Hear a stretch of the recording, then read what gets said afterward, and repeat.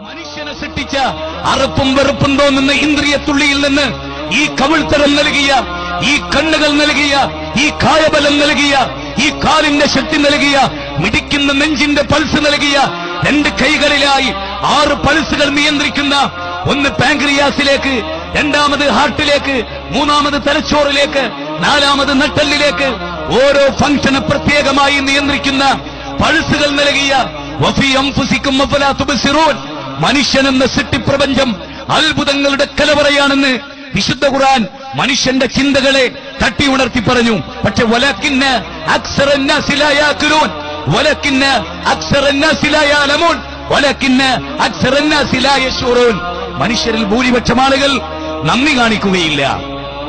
മനുഷ്യരിൽ ഭൂരിപക്ഷം ആളുകൾ ചിന്തിക്കുകയില്ല. തിന്നുന്നു ഭക്ഷണത്തെക്കുറിച്ച് ചിന്തിക്കാൻ തൊണ്ടയിലൂടെ തൊണ്ട വരളുന്ന സമയത്ത് ഒരു നല്ല തണുത്ത കിണറിൽ വെള്ളം കിട്ടി.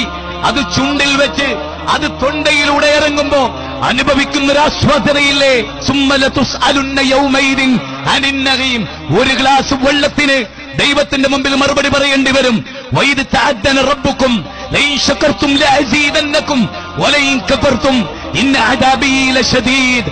പതിനാലാം അധ്യായം സൂറത്ത് ഇബ്രാഹിം ഏഴാമത്തെ വചനം. ദൈവം തന്ന അനുഗ്രഹങ്ങൾ എണ്ണിയാൽ ഒടുങ്ങുമോ?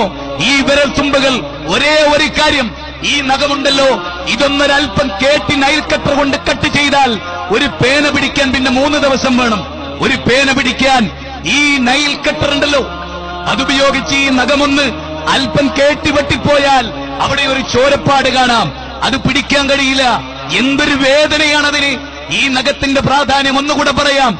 ഈ നഖമെങ്ങാനും ഒരു നിശ്ചിത അളവെത്തി കൃത്യമായി വളർന്ന് പല്ലിനെ പോലെ നിൽക്കുമായിരുന്നെങ്കിൽ ഈ നഖമെങ്ങാനും പറഞ്ഞു പോയാൽ പിന്നെ വളരില്ല എന്നതായിരുന്നുവെങ്കിൽ ഈ വിരല് പിന്നെ ഉണ്ടായിട്ട് കാര്യമില്ല ഈ വിരല് കൊണ്ട് പിന്നെ പ്രയോജനമില്ല ഒരു നഖത്തിന് പോലും പടച്ചതമ്പുരാൻ നൽകിയ സൗഭാഗ്യത്തെ കുറിച്ച് ഓർക്കുമ്പോ നിന്റെ മുന്നൂറ്റി അറുപത് സന്ധികളോട് നന്ദി കാണിക്കാൻ മനുഷ്യ നിനക്ക് സാധിക്കണം والعاديات ضبحا فالموريات قدحا فالمغيرات سبحا فأثرن به نقعا فوسطن به جمعا إن الإنسان إن الإنسان لربه لقنوت وإنه على ذلك لشهيد وإنه لحب الخير لشديد വല്ലാത്ത വാക്കാണ് ഒരു കുതിര അതിന്റെ യജമാനനെ ചുമന്ന് പ്രഭാതത്തിൽ രണഭൂമിയിലേക്ക് കാല് കല്ലിൽ തട്ടി തീപ്പരി പാറിപ്പിച്ച് ദ്രുതഗതിയിൽ ഓടിപ്പോകുമ്പോ യജമാനൻ കൊടുത്ത പുല്ലിനോട് യജമാനൻ